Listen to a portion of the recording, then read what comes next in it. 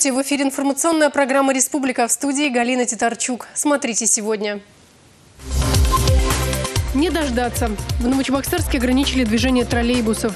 Ошибки учтены, планы определены. В Чебоксарском районе подвели итоги социально-экономического развития. Золотой фонд. 285 лет назад в России был открыт первый кадетский корпус. Железнодорожная отрасль стала на путь инноваций. Стратегию на ближайшие годы обсудили сегодня в Москве на конференции объединения производителей железнодорожной техники. О перспективных разработках чувашских предприятий членам ОПЖТ рассказал глава республики Михаил Игнатьев. Сейчас на железнодорожную отрасль работает более 25 предприятий Чувашии. Для нужд РЖД в республике производят цистерны, пульты машинистов, автоматические устройства, обувь. Только за последние пять лет отгружена продукция на сумму 120 миллиардов рублей. Это один из самых лучших показателей в стране. В объединении производителей железнодорожной техники Чувашию называют стратегическим партнером. Сейчас в ОПЖТ делают ставку на программу импортозамещения. Примерно 50% подвижного состава оснащается является иностранной техникой. Ситуация требует комплексных мер. Предстоит реализовать и другой масштабный проект строительства ВСМ-2. Уже в 2022 году по скоростной магистрали должны пойти первые поезда. Мечты сбываются. Мы как раз в ходе проектирования работаем с институтами российских железных дорог, ОПЖТ, представили свои предложения, потому что мы сильны электротехническим кластером, промышленностью, машиностроением. И тем самым то, что сегодня есть уже в работе, в разработках, они реально могут быть востребованы при строительстве высокоскоростной магистрали. У нас очень э, дальние, далекие связи. Практически скоро будет, наверное, уже 10 лет, как мы установили контакты с э, администрацией, с аппаратом который исполняет функции координатора э, между предприятиями. Я считаю, один из таких немногих, кстати, примеров, где э, наши взаимоотношения построены на системной основе. Сегодня все предприятия при закупочной деятельности участвуют в конкурентных закупках. И поэтому, что глава республики сказал, очень важно, что продукция предприятий чувашских, она конкурентно способна. Подробнее о стратегии развития железнодорожной отрасли и перспективах чувашских производителей расскажем в понедельник в вечернем выпуске программы «Республика». В Новочебоксарске часть троллейбусов не выходит в рейсы. Сумма долга троллейбусного управления перед Чувашской энергосбытовой компанией на 1 января 2017 года составила почти 4 миллиона рублей. Такую информацию публиковали на сайте Министерства транспорта Чувашии. С 2013 года предприятие находится под угрозой отключения электроэнергии за долги. Предприятие не может нарастить прибыль из-за постоянно снижающегося пассажиропотока, поэтому пытается экономить. Согласно плану экономии, сокращены выходы троллейбусов днем. Всего с 15 февраля на, четвер... на четырех маршрутах Новочебоксарска 52, 53, 54 К, 55 К стало на 120 рейсов меньше. 56 маршрут вообще временно закрыт. Министерство транспорта Чувашии предлагает администрации города найти средства на погашение задолженности и оптимизировать маршрутную сеть. Кроме того, Минтранс просит Чувашскую энергосбытовую компанию установить льготный тариф на электроэнергию. Основные социально-экономические показатели Чебоксарского района обсудили накануне в поселке Кугеси. Кугийский фок – центр притяжения любителей спорта со всего Чебоксарского района. Здесь работают секции по 16 направлениям, а учеников около полутора тысяч человек. Глава республики Михаил Игнатьев ознакомился с работой комплекса, ответил на вопросы спортсменов и тренеров, а также вручил зачетные квалификационные книжки. Их получили ученики, которые сдали нормативы первого спортивного разряда. Глава региона подчеркнул, необходимо создавать условия для развития массового спорта в муниципалитете. Перед районом стоят и другие задачи. В 2017 году нам необходимо выполнить план поступления доходов и исполнить все принятые расходные обязательства, а также усилить работу по взысканию арендных платежей. Последних накопилось аж на 12 миллионов рублей. Глава республики потребовал решить этот вопрос в кратчайшие сроки. На совещании обсудили и реализацию инвестиционных проектов. В районе эффективно выполняется ряд муниципалитетов муниципальных программ. Как итог, высокие показатели во всех сферах жизнедеятельности. К примеру, по росту объема валовой продукции сельского хозяйства Чебоксарский район – лидер республики. В этом году работа будет продолжена. Планируется реализовать еще один 31 проект на сумму более 1,3 э, миллиарда рублей и создать 295 новых рабочих мест. В районе для создания новых производств имеется 23 земельных участка муниципальной собственности площадью 48 гектаров. В разговоре приняли участие жители муниципалитета. В деревне Анаткиняры уже третий год в ФАПе нет штатного специалиста. Этот участок у нас совмещает э, медицинская сестра врача общей практики Фомина. И поэтому прием, конечно, ведется э, в фельдшерском, то есть прием ведется в офисе врача общей практики и ведется выездная работа. Вы не решаете решайте эти вопросы. Принимайте этих людей, отправляйте приказом с Ишлейской поликлиники или с районной поликлиники людей, которые будут находиться там 7 часов или 8 часов по графику. Подводя итоги совещания, глава республики отметил большой потенциал муниципалитета и поблагодарил жителей за достигнутые успехи. Татьяна Леонтьева, Мальвина Петрова, Игорь Зверев, Республика. С 2017 года упрощается механизм получения государственной поддержки для аграриев. В частности, вместо 54 различных направлений будут 7 основных, а банковские кредиты начнут оформлять сразу по льготной ставке. Новый порядок кредитования и формы поддержки сельхозтоваропроизводителей обсудили на коллегии Минсельхоза Чувашии. В Чувашии меры поддержки агропрома оказываются по 31 направлению, которые будут объединены в 7 основных субсидий. Всего в 2017 году на эти цели с федерального бюджета ожидается около полутора миллиардов рублей, из республиканского – около 800 миллионов. Заместитель министра Марина Загребаева напомнила и об условиях, от которых зависит сумма финансовых вливаний. Для того, чтобы использовать 7 субсидий, республика должна по 35 показателям выполнить те обязательства, которые определяет федеральный центр. Здесь было сказано о пашнях, о поголовье, о рабочих местах. Все эти показатели ложатся в основу объема денег. Чем меньше пашня, чем меньше результаты, тем меньше денег приходит в республику. Обсудили итоги работы отрасли в прошлом году. Индекс сельскохозяйственного производства составил 101,4%, средняя заработная плата выросла на 7% и достигла 15 тысяч рублей. Но это все равно ниже, чем в среднем по экономике. Посевная площадь 576 тысяч гектаров. Задача со следующего года – увеличить пашню за счет водонеобрабатываемых земель. Есть и другие точки роста в полном смысле этого слова. В Российскую Федерацию ежегодно завозится хмель и хмелепродукты на 9-10 миллиардов рублей. Мы, в принципе, имея определенный потенциал, могли бы при определенной государственной поддержке и при политическом решении ежегодно производить потихонечку-потихонечку до половины объема и зарабатывать 5-6 миллиардов рублей, я думаю, для Чувашской республики, и это было бы немало. И в том числе бы, была бы занятость в пределах полутора-двух тысяч человек на работе в селе. Есть перспективы и у молочного животноводства. Сегодня в республике производится более 400 тысяч тонн молока. Около половины вывозится в сыром виде за пределы Чувашии, а 70 тысяч тонн, наоборот, ввозится. При этом местные молокозаводы могли бы перерабатывать вдвое больше сырья. Словом, есть над чем подумать и к чему приложить усилия. Елена Гальперина, Надежда Яковлева, Сергей Адушкин. Республика. Игра на волоске от смерти. Неведомые доброжелатели, в кавычках, предлагают детям по всей стране ощутить драйв и адреналин и сыграть в опасную игру «Беги или умри». В социальных сетях вовсю рассказывают и показывают, как ребята в возрасте от 9 до 15 лет наспро перебегают дорогу перед машиной. К чему это может привести, догадаться нетрудно. Родительское сообщество бьет тревогу. Видеоролики, рассказывающие о гибели подростков под колесами автомобилей, как снежная лавина заполнили интернет. Игра, когда один бежит, другой снимает, превращается в страшную забаву. Пока одна сторона, преступная, предлагает детям опасную игру, другая встает на защиту. Многим родителям сейчас приходят на телефон сообщения с предупреждениями. Не оставляйте детей без внимания. Елена Григорьева, мама подростка, на подобное сообщение отреагировала моментально.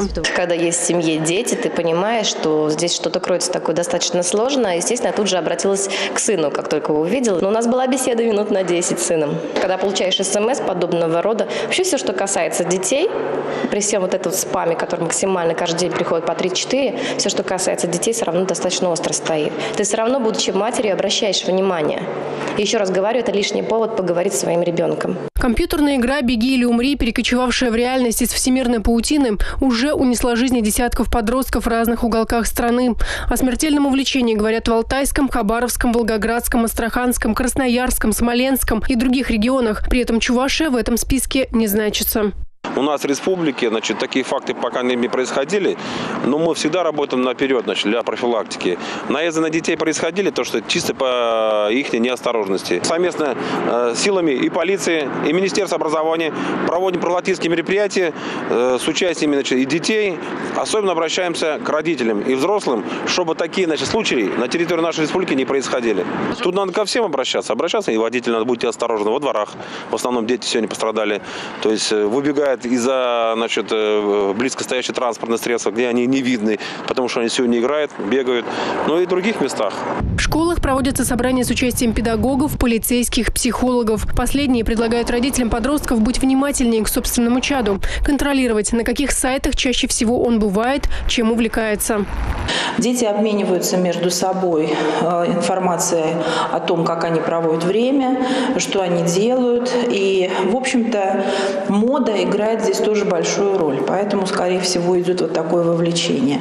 Если родители не знают об увлечениях ребенка, о его друзьях, о тех контактах, которые у него есть в социальных сетях, то они могут пропустить а, тот момент, когда на ребенка будут влиять больше не они, не их взгляды, не их понимание ситуации, а то, что он черпает из всемирного, а, так скажем, информационного пространства.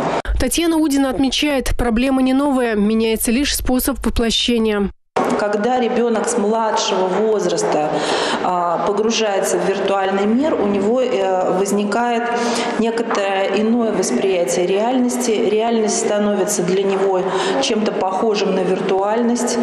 И а, иногда ему кажется, что смерть – это не такая реальность, какая могла бы быть на самом деле. Да? Вот это да, отношение к смерти, оно очень амбивалентно, оно очень противоречиво. И нужно разговаривать э, с детьми на том языке, на котором а, им это понятно, о всех проблемах жизни и смерти. В этой ситуации важно объединить усилия всех – родителей, педагогов, правоохранительных органов. Только тогда интернет может стать действительно безопасным для наших детей. Галина Титарчук, Сергей Адушкин, Андрей Шоклев. Республика. Минуло почти 66 лет с того года, когда первые отряды студентов и добровольцев отправились на освоение целинных земель в Казахстан. Через это общественное движение прошло не одно поколение советских граждан. Да и сейчас студенческие отряды активно функционируют. Кстати, начиная с прошлого года, 17 февраля стал официальным праздником российских студенческих отрядов. Они танцуют, поют, рисуют, строят, воспитывают детей. Они участники масштабного движения под названием «Российские студенческие отряды». И именно за этой дверью придумываются, пожалуй, самые интересные молодежные проекты. Пойдемте посмотрим.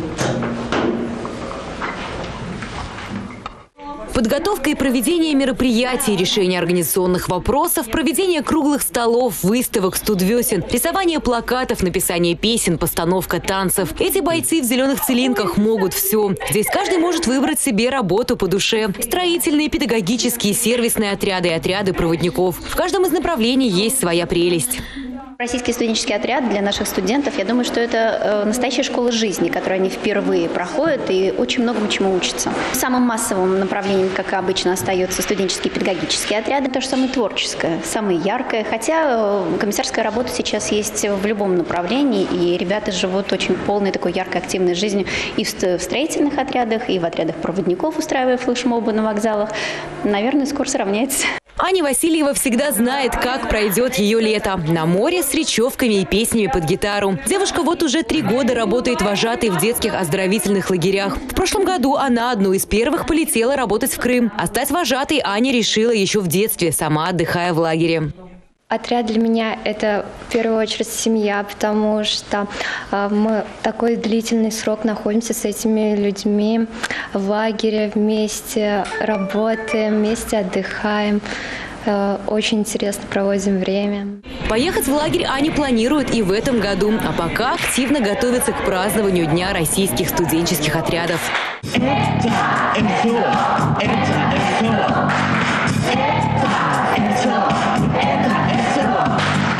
Кстати, у этого праздника появились и первые традиции. Каждый боец или тот, кто был в студенческом отряде 17 февраля, надевает свою форменную куртку. И где бы он ни находился, какую бы должность ни занимал, этот праздник он встречает в Целинке. В память о тех, кто заложил одну из самых лучших студенческих традиций. Юлия Важенина, Олег Якимов, Республика. Не только студенты, но и все желающие могут начать подготовку к тотальному диктанту. В Чувашском государственном университете на факультете русской и чувашской филологии в аудитории 434 каждую пятницу в 18 часов будут проходить занятия по русскому языку. Напомним, тотальный диктант в этом году пройдет 8 апреля. Сегодня в Доме детского и юношеского творчества состоялось посвящение в кадеты. 42 ученика кадетской школы произнесли клятву и приняли присягу. Именно в этот день, ровно 285 лет назад, по указу императрицы Анны Иоанновны, в Петербурге был открыт первый в России кадетский корпус. С того момента 17 февраля принято считать исторической датой.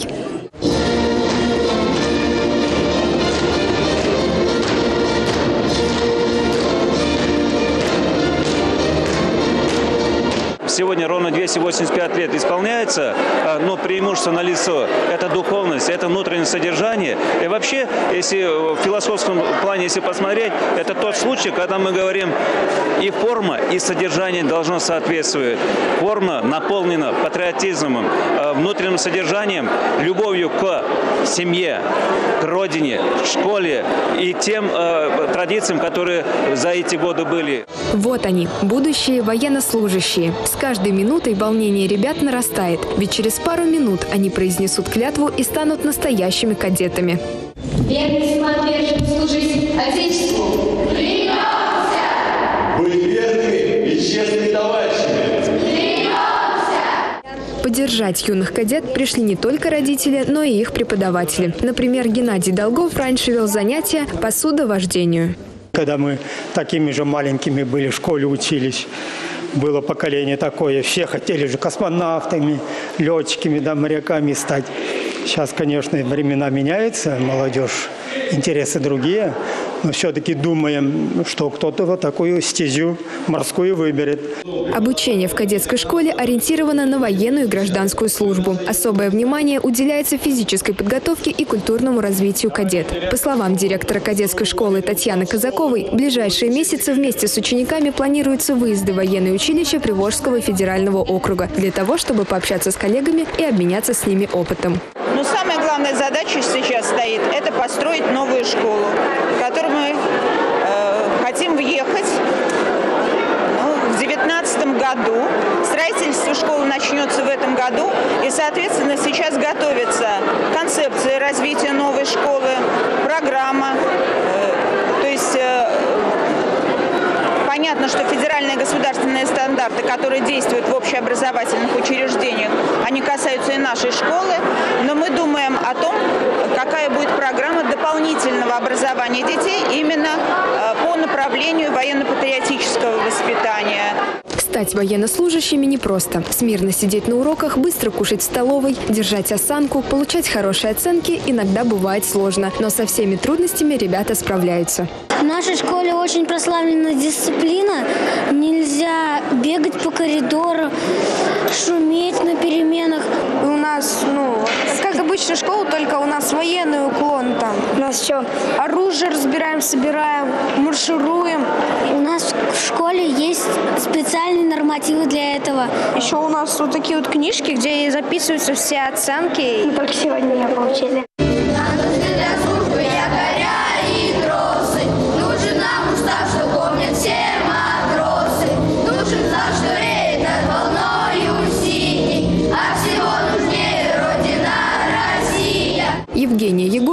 Андрей Шоклев, Республика. Наши новости и программы смотрите на сайте ntrk21.ru. Я с вами прощаюсь. До встречи в эфире национального телевидения Чувашия.